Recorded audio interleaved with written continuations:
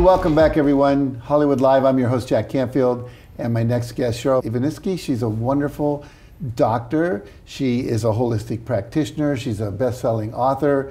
She's dedicated to health and wellness, and uh, we're going to talk about all of that. She's written a number of books, co-authored with some of the coolest people I know, myself, Brian Tracy, Les Brown, Dr. John Gray, Raymond Aaron, and the World Organization of Natural Medicine.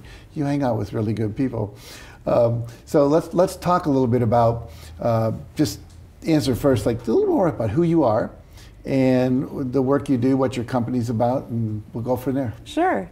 Well, I'm a successful wellness and business entrepreneur. I'm very happy to say I'm a best-selling author and Quilly Award winner, so Thank that's you. great, and a uh, speaker uh, nationwide, and uh, also a health authority wellness advocate, which I'm totally passionate about.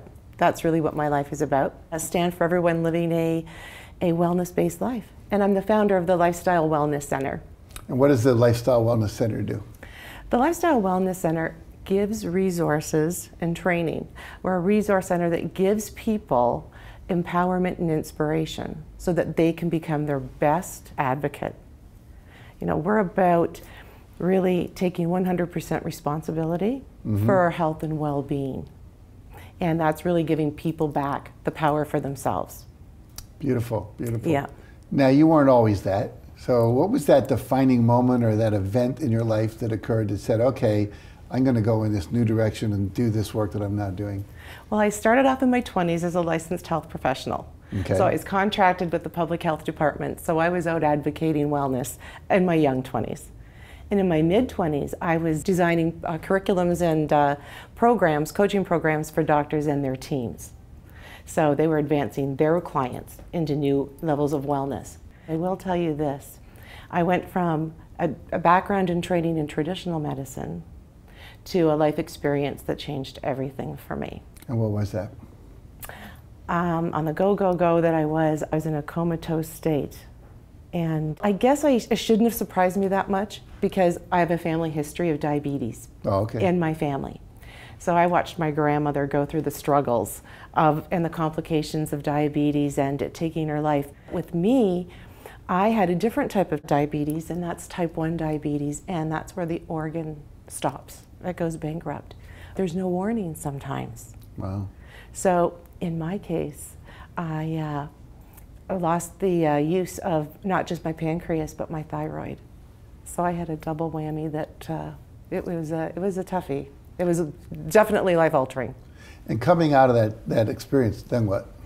Well, then I uh, was grateful, and I am grateful for traditional medicine. It saves my life. I wear a medical device that keeps me alive every day. And then there's your quality of life. And so, although traditional medicine keeps me alive, what, what does it do for my prevention and, and my en- enrichment in life? Mm-hmm. And so then I really started studying. I called many authors of books who, who had written books. And what I did was I decided that, you know what, I am not going to become a statistic or a victim. And that's when I went back to school and mm-hmm. studied uh, holistic medicine. And that's my passion because, you know, 400 million people in the world have diabetes or prediabetes. 400 million, wow. 400 million. And it, uh, our healthcare you know, is about crisis management, not so much about prevention. And I think there's a need, there's something missing. So I think what's missing is the prevention and the proactivity.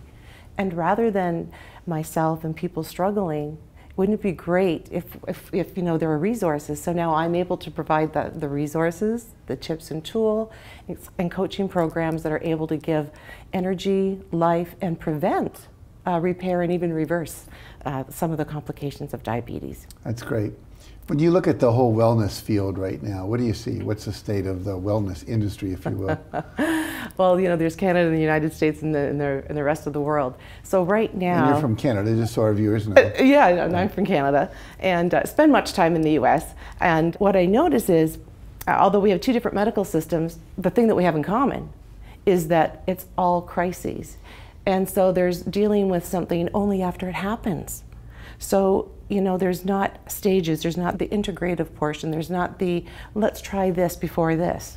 So what what's missing is billions of dollars every year in our emergency departments. And this is the one thing that we can do so much about. We have the most control over. Mm-hmm. You know, so I think it's more about uh, rather than having a crisis management and people suffering, struggling, and costing our, our country's money. Let's take responsibility and let's be our own wellness advocates. Now you've been phenomenally successful with this work. What do you what do you credit that to? What, you, what, what is your secret, if you will? You know, I think it's something I think something that everyone needs to do is, you know, be passionate about what you're doing. Like you have to be all in. Mm-hmm. So it's not one of those things that's like, I think I'll do this. No, like you're all in and, and you do whatever it takes because that is what you live and breathe. So I think being passionate. In my case, I'm I'm grateful because I have a team of 12 to 15 professionals that mm-hmm. are that are proactive in life.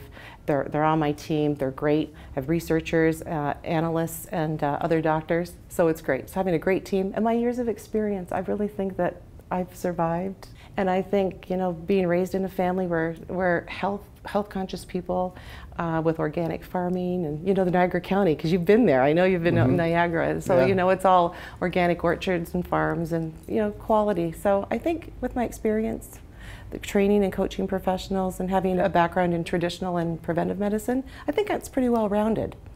Very good. You know? Sure.